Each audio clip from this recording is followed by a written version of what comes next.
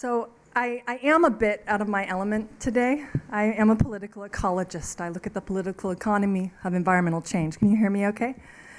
Um, but my work really deals with human experiences, and human experiences, that is the work of artists. That's who we almost go to to understand um, ourselves and others better through their work, through their music, and through their art. Um, and so I've been uh, grateful that Jen Shyu, who is coming this week, uh, has shown interest in my work. And I'm also very grateful that you all are here today and also in, in that way showing your interest in this work. So um, with this presentation, I'm really going to begin um, giving you a global context and starting right now in the present. I'm going to start uh, last month's climate change talks in Paris. And I'm going to introduce you um, to a few different concepts, particularly something called REDD Plus uh, for reducing emissions from deforestation and forest degradation.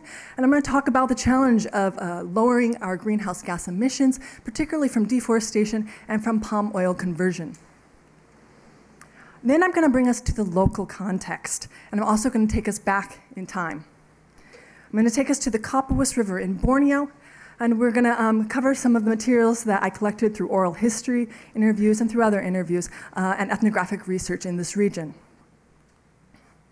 I'm then going to talk about relationships. I'm going to talk about the relationship between nature and culture, the relationship between the past and the present, and the relationship between the local, the global, ourselves, and our outer world. And finally, I'm going to finish with a quote um, from Jen Shyu's upcoming performance, Solo Rites, Seven Breaths, directed by Garin Nugroho. And I'm going to provide my own context and interpretation of this quote. So, at the United Nations Climate Change Conference in Paris last month, 196 different countries uh, came to an agreement, to the Paris Agreement, on how, um, or on an agreement um, that they were going to reduce greenhouse gas emissions uh, to such an extent that it would keep uh, the global climate from um, warming more than two degrees Celsius. Now, this agreement was many years in the making.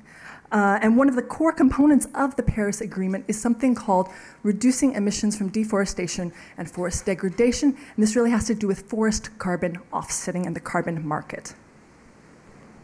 Now, upwards to 17% of the world's greenhouse gas emissions come from deforestation and forest degradation and forest fires. This is actually more than the world's transportation sector. To address this, the United Nations, the World Bank, private companies, multilateral uh, institutions um, have all been working together to pilot a market based approach, REDD Plus, uh, to addressing these emissions from deforestation. So REDD stands for Reducing Emissions from Deforestation and Forest Degradation, and the plus stands for various different things. It stands for the enhancement of forest carbon stocks, biodiversity conservation, uh, and uh, improving local livelihoods. REDD Plus is one of the key approaches uh, in this new Paris Agreement. So this is what REDD Plus generally looks like internationally. Uh, the red, in terms of the geography, the red circles are different countries that are contributing funds towards REDD Plus, and the green circles are the different countries that are recipients of REDD Plus funds. REDD is envisioned as a form of payments for ecosystem services, in which high-emitting countries and companies such as the U.S. Uh, they, they pay rainforest-rich nations and countries um, and communities uh, to conserve their forests rather than to exploit these resources uh, for other economic purposes. Uh, REDD Plus recognizes that there are competing land use options in these communities and for these countries, and it attempts to reconcile this through paid compensation for forest conservation. And as you can see, Indonesia is one of the larger uh, recipient countries of these funds. So one of the reasons Indonesia has really been, and, and it has, it has really been in the REDD Plus spotlight, uh, is because it is one of the world's largest greenhouse gas emitters after the United States, uh, actually after China as number one, then the United States, and then the EU. But unlike these other emitters, uh, Indonesia's emissions are primarily due to deforestation and forest loss and forest fires. Uh, so a lot of times when you see the different stats, they're not necessarily including these emissions from uh, forest change and uh, landscape change. Uh, but if you do include these emissions, Indonesia ranks uh, as either third or fourth. So Indonesia contains more than half of the world's peat. They have very deep peatlands, tropical peatlands specifically. Um, and because of this, um, they actually have a very high carbon content, not just above ground in the forest, but also below ground in the peat. And uh, peat, these peat swamps are um, also the native habitat of orangutans, and you find these peat swamps um, predominantly in Borneo and in Sumatra. So, due to the high acidity of peat soils, most agricultural crops, crops actually don't grow well in these peatlands. The unfortunate exception is oil palm. Uh, palm oil companies have targeted peatlands uh, because the crop does grow well once you uh, drain these peatlands and prepare them properly. Um, and also because of the, the infertility of these soils, uh, they're cheaper than other soil types in Indonesia and in Southeast Asia.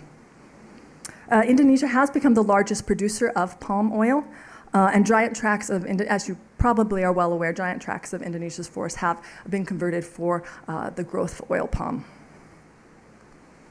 Now, explaining his village's experiences with the oil palm industry, I wanted to share this song uh, by a man named Rojo. Uh, he is Dayak Ngaju. Uh, all of the individuals that I will talk to talk about today or quote are um, from the Dayak Ngaju tribe in central Kalimantan. Um, he, Rojo is not from one of the villages where I worked, um, but I wanted to share his experience in his community of landscape change and of the oil palm industry. And this video comes from Telapak and Gecko Studios.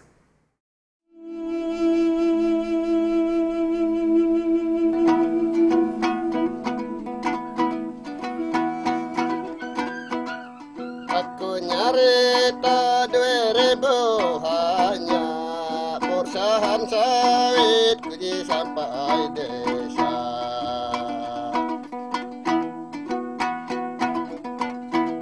Sampai padu mahawana tunda hakulah Barati kati Kuduh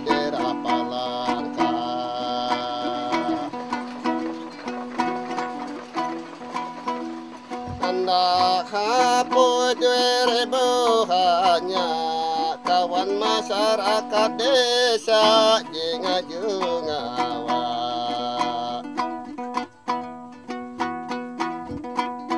Manggao peta kekamalan mana bilang saya itu dari awal saya persen masuk sini jengkel dong. Saya sudah pokoknya sudah saya pikir karena ada harganya itu kan 30 ribu satu hari cukup lah orang sembilan ini makan 30 ribu satu hari kalau saya cukup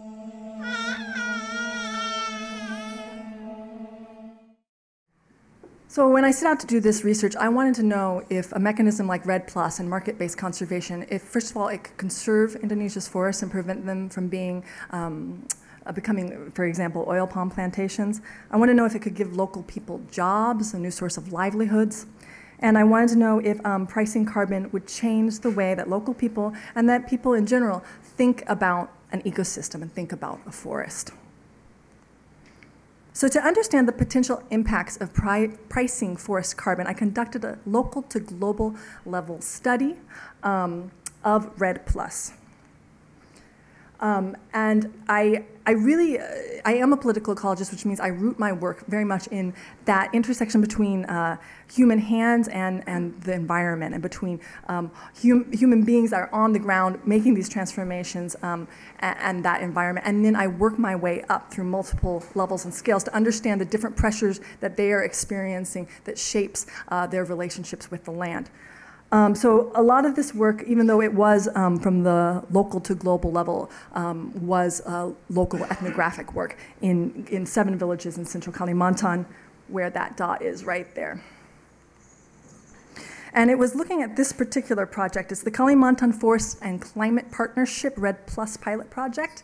Uh, it covers one peat dome. You can think about a peat dome as an upside down watershed. It covers one upside down watershed, a very deep peat. Um, it had a budget, of, a budget of 30 million US dollars, and it had some big players as partners. It had the Australian government, had the Indonesian government. The World Bank was actively preparing to join when I was there. Um, it had CARE International, the Borneo Orangutan Survival Foundation, also known as BOSS, uh, and, and seven local communities. So the seven local communities where I worked um, were all on the Kapuas River. Uh, the population of these communities combined was about um, 9,000 people, uh, and 90% of the population was indigenous Dayak Ngaju. The religions, uh, the percentages varied from community to community, but pretty much equally uh, a split between Islam and Christianity, uh, with a percentage, of about 5% of the percentage of um, the population uh, practicing Kaharingan, um, but more people integrating Kaharingan beliefs uh, into their um, life, their ways of understanding uh, kind of the, the, the, the cosmos. Um, and the primary livelihoods of people here, rubber is most important uh, overall, rattan, and agriculture, gold mining, fishing, uh, hunting, the, the bird trade, and the, the, um, also the, the pet trade, um, Gemor, weavings and crafts, various latexes, non-timber forest products being collected um, from the forest, canoe building, um, uh, which are uh, food stalls and small shops. Now, there are only two roads that go into these villages uh, one into the most northern village and one into the most southern village. Uh, and they are both in rough condition. Thus, the main uh, transportation along this river is by boat. The landscape is not what you would actually expect from a project to reduce deforestation. Uh, actually, the whole southern half of the project has been deforested already, but it still contains a considerable amount of carbon underground in the peat. It is also not common to view wildlife in this area, and Gonzalez is an exception. Uh, I met him at the, the local sawmill where he lived. Um, there were serious uh, water pollutions in these uh, water pollution issues in these villages, and locals explained that they could no longer eat the fish, the larger fish in the rivers, nor could they drink uh, the water due to the mercury pollution from upstream gold mining. And the peatland forest fires in this region are severe. Um, and it, with these images, you see um, me holding some ash that's fallen from the sky. Um, and you see that this, uh, the, the, fires actually cause uh, impacts both um, in visibility and for, in terms of health and livelihoods. So one of the things that is really remarkable about this case study on the Kapuas River is that this environmental change, it has all occurred in the people that live there's lifetime. So if you take adults that are 50 years old, all of this has occurred in the last 30 years. When they were 20 year olds, adults, they um, were surrounded by rainforest. So they have seen an incredible amount of change during their lifetime. And this change is even more significant when you consider um, the, the belief system, the, the, the belief system is intimately intertwined with the forest and the landscape. Um, and when you consider that the livelihoods, the medicines, um, foods of these people are also um, traditionally all based on the forest and were intertwined with this forest just so recently. So this is a, a simplified historical timeline just to show some of the major events that have impacted these villages over the last few decades. So there was the logging boom uh, from the mid 1970s to the 1990s. Um, and then the forest fires, um, so some major forest fires occurred in close vicinity to the, uh, the villages this year, and then you get into the late 1990s, and then almost every year since. Um, and then there was also different external uh, agencies coming in and setting up projects. So first you have the Mega Rice project, uh, which was uh, initiated by the central government of Indonesia. Then you have uh, the Bas Mawas Forest Reserve, uh, the Central Kalimantan Peatlands Project, and most recently REDD Plus. Um, and then you also have a series of things happening in the region, um, such as the Asian economic crisis and the fall of Suharto. So one of the things that things that's really important to remember about local people's experiences with environmental change and on their experiences with development and conservation interventions that are coming in is that um, their past experiences directly influence and weave into their understandings of what's happening today, how they interpret this, and how they react to it. So, in one sense, these villages, and this is a photo from a different uh, region of, of uh, Kalimantan, in one sense, these uh, villages are, are very remote. After all, there's only two roads in rough condition going into the, uh, two of the villages of the seven. However, um, all seven villages are on the Great Kapuas River, and Borneo is an island of rivers. These rivers um, have actually connected people, local people, to markets outside of Borneo and to people from outside of Borneo um, for many generations, and they've also allowed uh, native Dayaks to travel um, within Borneo. And these villages are actually um, young villages. Uh, they were established at the turn of the 19th century.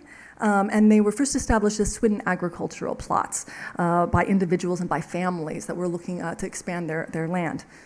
Um, so, talking to village elders, they can um, Talking to village elders, just as a demonstration of how interconnected people have been to, to outside markets and the outside world, they can only actually remember one time in which they were disconnected uh, from the outside world and outside markets, and that was during uh, the Japanese occupation from 1942 to 1945, where they really had to figure out ways to be entirely self sufficient, even making their own clothes from bark.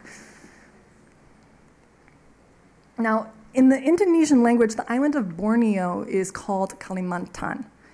And this term possibly originates from the Sanskrit word Kalimantana, which some have translated as meaning burning weather island, Kal for a season or a period, and Mantan for burning.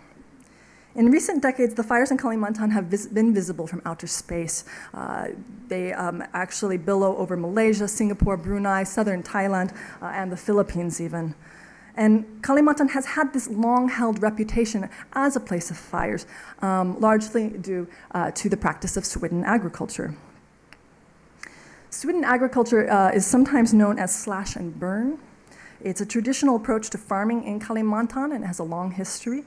Um, the fires would typically sit, these fires would typically be sit and still are uh, at the, towards the end of the dry season. Um, with the hope that the rains will then come, the rains will come and help um, put out the fires. Um, and this results, this period at the end of the dry season, um, it gets the local name Musim Kabut uh, Asap, uh, which is uh, also called Musim Kabut for short. It's the smoky season.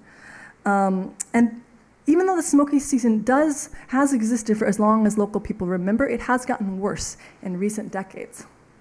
And the question is why? So the picture on the left uh, from NASA shows Indonesia's forest fires when viewed from outer space. And that thick cloud of smoke that you see, that is directly over um, the, the communities that we're talking about today. Major forest of Indonesian, or major Indonesian forest fire years are listed here. You see them intermittently until 1997-98, and then they've occurred almost every, they have occurred every year since then, uh, but at different levels in terms of the intensity. So, one reason given by a local leader for why the fires have gotten worse was the loss of traditional uh, practices for taking care of these fires. Quote, when we do shifting agriculture, we should be working together in one area. People in the past worked together, burning the land and then controlling it. Other major factors contributing to the increased severity and frequency of these fires have been logging. Um, as logging increased in the 1970s, 80s, and 90s, so did the amount of uh, dry, uh, decaying matter on the forest floor. Um, and this um, increases the uh, fuel load of the forest and makes it more flammable. Um, also, the weather has always played a very significant role. The El Ninos extend the dry season, which then, thus increases the severity of the fires because they're not put out by the rains. Um, but one of the biggest impacts, um, one of the biggest things impacting the severity of these fires is the transformation of this landscape, um, the dredging of it um, for agricultural purposes, which thereby exposes the peat soil to air. So, the most striking example of peatland swamps being drained, dredged, and drained was uh, President Suharto's mega rice project in the late 1990s. And it was, it was a huge project. It covered an expanse of almost a million hectares. Uh, and they uh, successfully constructed over 4,600 kilometers of canals through this landscape. However, it was largely uh, ecologically unfeasible. And uh, due to the acidic and infertile soils of the majority of the area that they were uh, deforesting and preparing for rice cultivation. So from, from 1997 to 1998, a series of things happened quite quickly. First, there was the Mega Rice Project. Then there was an El Nino, a massive El Nino. This was followed by massive forest fires um, in the drained peat of the Mega Rice Project. This um, then was combined with the Asian economic crisis hitting Indonesia. And then finally, all of this uh, and other factors um, combined to result in the fall of the Suharto regime after 30 years in power. And this, this whole series of events and catastrophe, uh, you know, ultimately resulting in a catastrophe, um, also resulted in the complete abandonment of this project. So the Mega, the Mega Rice Project was at the epicenter of the 1997 to 1998 forest fires, during which upwards to almost 2 point, or upwards to 2.67 gigatons of carbon were released into the Earth's atmosphere. So this is estimated to be um, upwards to actually uh, 40% of the world's carbon emissions, total carbon emissions during that period. And uh, this map from NASA gives a sense of the global extent of that air pollution during that period. So a man from the village of Kalumpang, he described uh, local experiences with this and the aftermath of the Mega Rice Project uh, with this quote. After the Mega Rice Project, everything got burned. These giant fires stretched from rivers to rivers, like from the Kapuas River to the Barito River to the Kahayan River. The impact continues until today because of those fires. The Mega Rice Project was local people's first experience with a large scale, externally driven development project coming in. And across the local interviews, uh, people describe this project uh, as devastating, as traumatic. They specifically use over and over again the word trauma, which is the same in Indonesian and in English. And as these two quotes demonstrate, the Mega Rice project, it damaged local people's livelihoods and their health. And this aerial map to the left, uh, this is the, the peat dome, the single peat dome um, that the REDD Plus project focused on. The southern half still is deforested and scarred um, from the Mega Rice project. So um, the northern half of this peat dome, where I was also conducting my research, uh, it, is, it is still intact forest, and it's protected by the Borneo Orangutan Survival Foundation. And uh, Borneo, the Borneo Orangutan Survival Foundation, or BOSS, uh, they were they established this forest reserve covering this and a whole area above that as well. Um, they established it in 2003 in one of the last fragments of forest area in the region. Now, Boss uh, unfortunately has a very poor reputation in the local villages. Uh, the word afraid uh, commonly came up in interviews when talking about um, Boss. And the reason was because of the, the NGO's use of police and their threats uh, to send local community members to jail if they house or if they harm an orangutan. Um, but the most common source of friction really is um, it really has to do with a lack of access into this forest and lack of uh, uh, you know declined rights to enter the forest and have access to it and have access to those potential livelihood benefits and the lack of benefits that come from the forest reserve for the communities that border it. So this quote is an example of the friction that exists between local people and boss. Quote, villagers from the hamlets often look for Gemor in the Bas Mawas area, but the security in Bas has forbidden them from doing this. As a result, community members sometimes make fires in the Bas area because we are not allowed to enter the forest. Now, a note on Gemor. Gemor is a non-timber forest product, and it's used to make mosquito coils, a mosquito repellent. And obviously, this is important in a region uh, with very high occurrences of um, both malaria and dengue. So this REDD Plus project, the Kalimantan Forest and Climate Partnership, it is the most recent project to enter into these villages. And it's the first time the Australian government and the World Bank have worked in this area, but the communities actually already have experience with these other stakeholders that were involved, uh, BOSS, CARE, uh, the Indonesian central government from those past development and conservation interventions. And thus when the project entered, um, community members already had some expectations because uh, it was some of the same stakeholders and the same people that were involved. So this is where I get into talking about relationships, starting with the relationship between culture and people and the natural environment.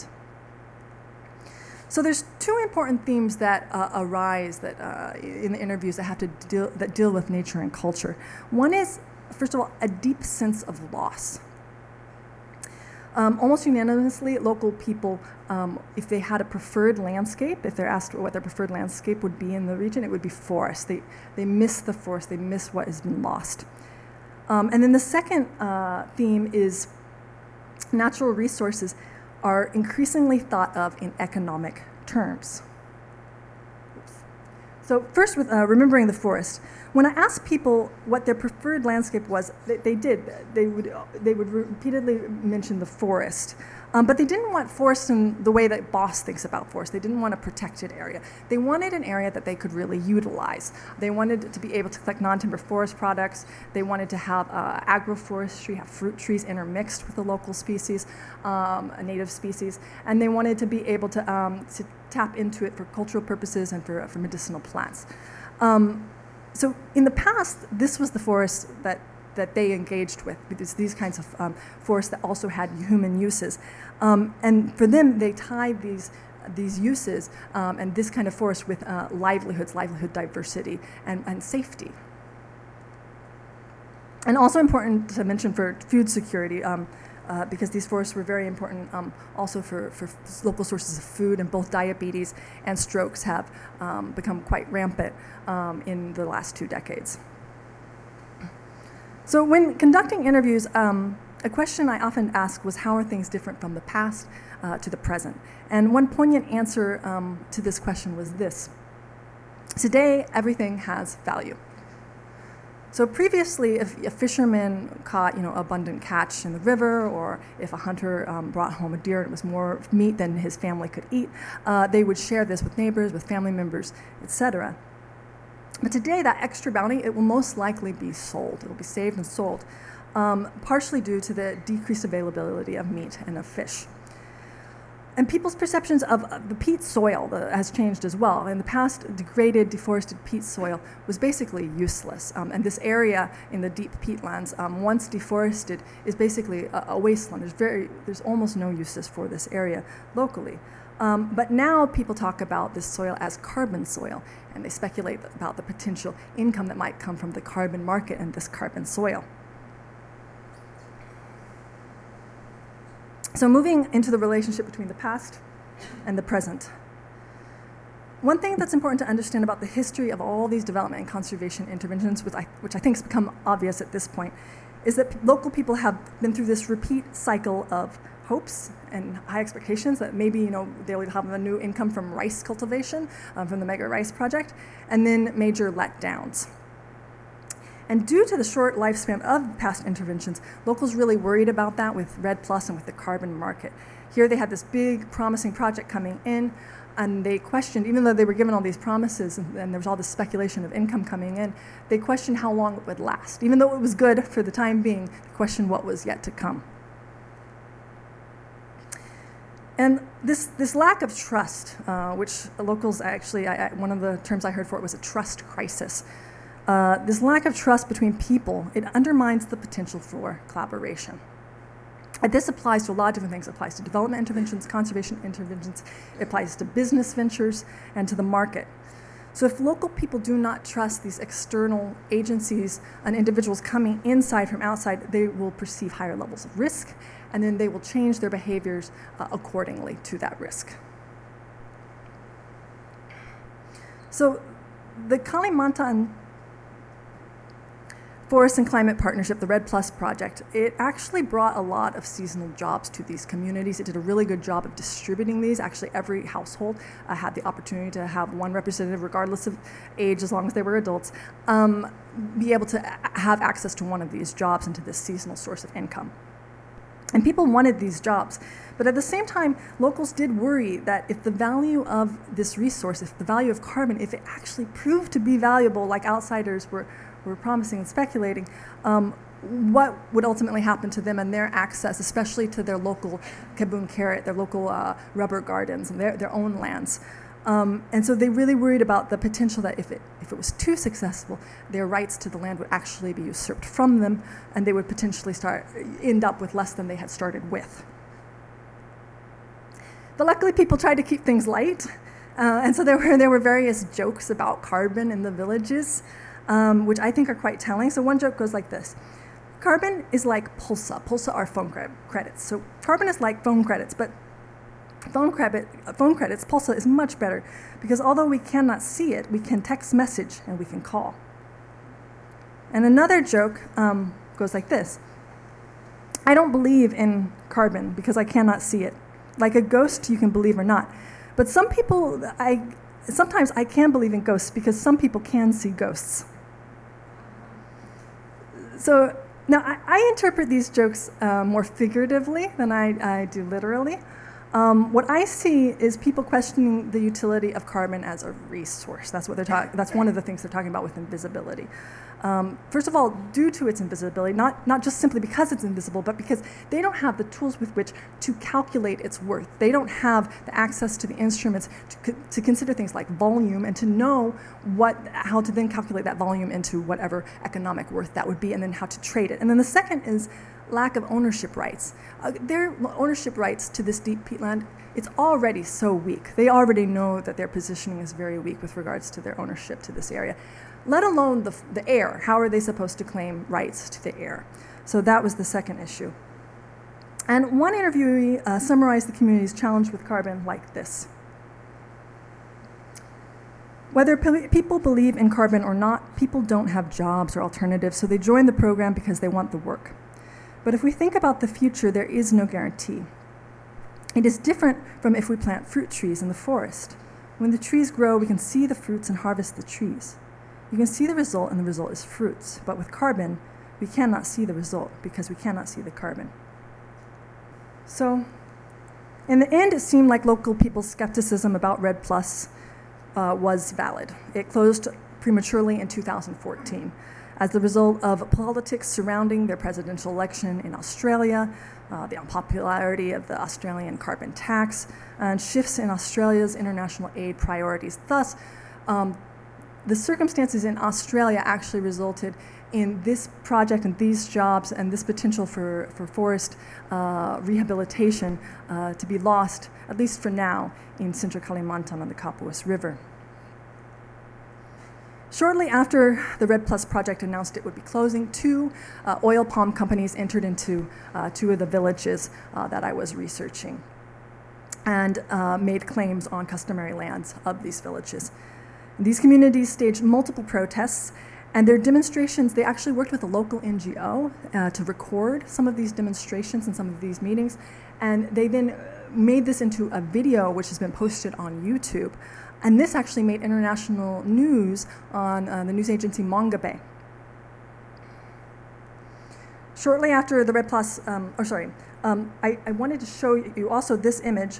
Uh, we're not going to go into the video, but this image um, is from that video uh, that Locals made in collaboration with this local NGO. And it shows local people, they're pulling out the, the palm oil trees, the oil palm trees that the, the company had planted on their traditional lands. And then they're replacing them with their own rubber trees. And this holds a lot of significance uh, for Dayak culture um, because the way that you would express your, your ownership and land rights to an area wasn't through this piece of paper, but it was through your own interaction with the land and specifically through the planting of, for example, fruit trees and crops. So by taking out the, those palm oil plants and, and replacing them with rubber, they were making this expression that this is our land. Um, Another uh, village, Tumbang Muroy, uh, it organized protests against the Borneo Orangutan Survival Foundation's Mawas Reserve uh, in 2015 in March. And I think uh, one of the reasons they were able to do this or thought to do this and planned and organized to do this um, was in part because of their experience with REDD Plus. REDD Plus had provided more uh, benefits than any of the external projects that had come in before. Uh, and it also had given local people a greater voice um, and the ability to democratically vote about various issues uh, regarding the REDD Plus project and even whether to be involved or not. So um, emboldened by these experiences, community members encircled the Boss Research Station, which you're seeing an aerial shot of it, um, and they demanded that local villages be considered a stakeholder in this protected area. According to one local leader, the village desires that the remaining forest be conserved, but they want the Borneo Orangutan Survival Foundation to sign a formal agreement with the village, like REDD Plus did, so that there can be transparency and room for negotiation in the future. And the village also requested community level benefits um, from this forest and from this program, but even though they want the, the forest protected, they do want benefits like jobs as park rangers, et cetera, um, or also they would um, are requesting a teacher for their local elementary school. And uh, in the future, they do request uh, access to traditional lands that overlap uh, with this area, because currently they're not allowed to enter the forest. So in fall 2015, uh, catastrophe really hit. Um, due to the El Nino weather pattern this year, um, as well as the considerable expansion of oil palm plantations in uh, recent years in this region, um, and due to the use of fire illegally, uh, both by the oil palm plantations but also by local people, uh, Indonesia experienced its worst forest fires to date. Um, the exact uh, consequences of these fires is still yet to be determined because uh, it's still technically going on, although um, the severity it, it, has declined since uh, uh October, November. So, um, one estimate to give kind of a, an idea of the severity of these fires this year, it was estimated that for 21 days from September 1st to October 14, 2015, the greenhouse gas emissions from peatland fires in Borneo and Sumatra exceeded the daily average greenhouse gas emissions from the whole United States, just from these fires on these two islands. So local people have become increasingly vocal against the government and against these corporations um, and, and calling for action against forest fires. And um, they, the, the level of, of action being taken, it's absolutely unheard of, especially if you compare it to, um, in these oral histories, the, how timid people were during the Suharto era. And uh, social media is amplifying local voices. So young people in Kalimantan, they are incredibly adept at using Twitter, at using Facebook, um, and at using uh, YouTube. And I want to share um, the words of one Dayak Ngaju activist. This is Sinta, uh, and she has been um, she's played a major role. She's quite young, uh, still working on her bachelor's degree. She's played a big role in organizing these protests uh, in Central Kalimantan and getting uh, international recognition from the BBC, Al Jazeera, and many other uh, agencies uh, on this issue. Um, and here's a video of Sinta speaking.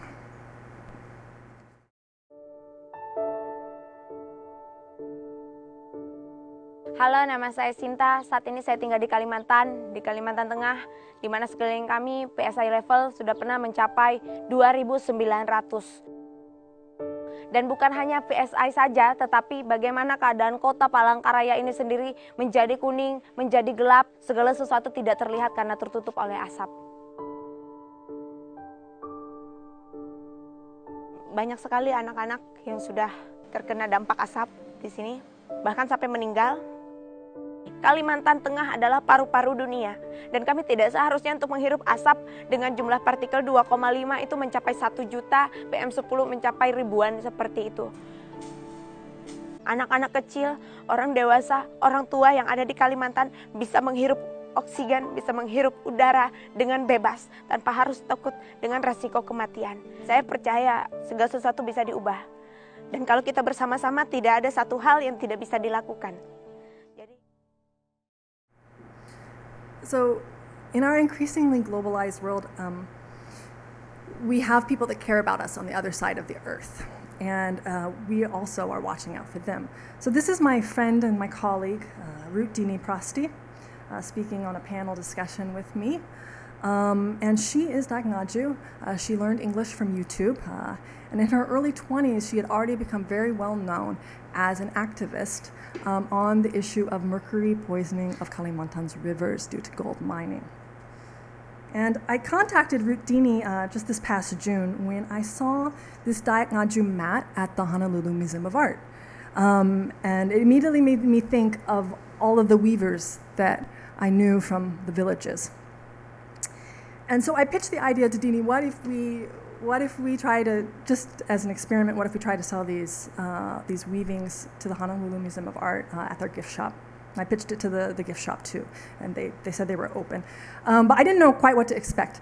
So Dini pitched the idea to the ladies and like seven weeks later a box arrived with all of these weavings ready beautiful of all these woven bags so now, seven months later, 21 women have organized and they've developed a cooperative. They've all registered um, and they have been strategizing on how to improve the quality of the products and the like.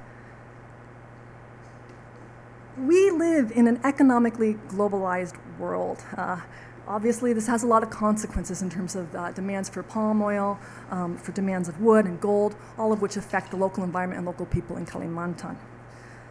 Dini and I founded the Kalimantan uh, Weaving Initiative with the hopes that we could, in our own little way, tap into this global economy uh, for the benefit of local culture, local environment, local women, and traditional arts.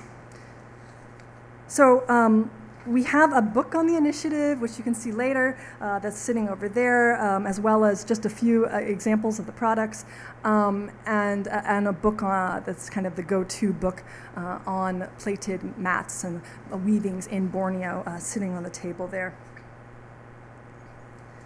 So, I promised that I would end this presentation with a quote from Jen Shyu's opera, directed by Garin Nugroho, coming to Hawaii this week. Um, and so I will do that. This quote is from a traditional Adat leader on the Kapuas River in Katunjung village. And I will explain uh, my own interpretation of this quote after reading it. How humans take care of fire is important. They have to give an offering. How do you give an offering to the fire spirits? By doing the Manyangar, Manyangar ceremony. But you did Manyangar and there was still fire. Yes, it's because the spirits were neglected. We were taken from the forest and neglected the ones who live in the forest the wind, the water, the lands, the wood. So, the Manyangar ceremony I am referring to, I'm actually referring to one specific Manyangar ceremony that was conducted uh, at the opening of the Mega Rice project, that massive million hectare project in the late 1990s. And the Indonesian central government had worked with the local communities to put on this huge ceremony to ask the blessing of the spirits uh, for the success of the project. So I wanted to understand why, when they went through all of this, did it become such a devastating outcome. But what I learned from this interview and from, from his explanation was actually uh, they did get what they asked for, but there was something very fundamentally wrong with what they were asking for.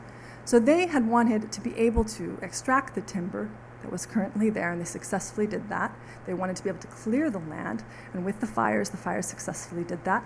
They wanted to drain the peatlands, and they really accomplished an incredible feat by the amount of, uh, of drainage canals, uh, as mentioned, 4,600 kilometers worth uh, built. And no one died because they had wanted to protect the safety of people during uh, this project. No one died uh, while doing this project. But what wasn't included in the request to the spirits uh, was the safeguarding of the forest and also the safeguarding of future generations.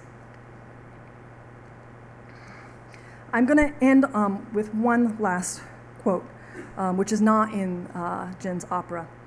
And this quote is um, from the same Adat leader. Uh, and I asked him a question that I asked so many different people uh, along the Kapuas River. I asked, What do you think is the biggest environmental problem here? And most people practically everyone said uh, forest loss and forest fires. Um, but his, law, his answer was not that, and I think his answer really embodies the challenge that we are all up against uh, at both the local level and the global level. And this was his answer.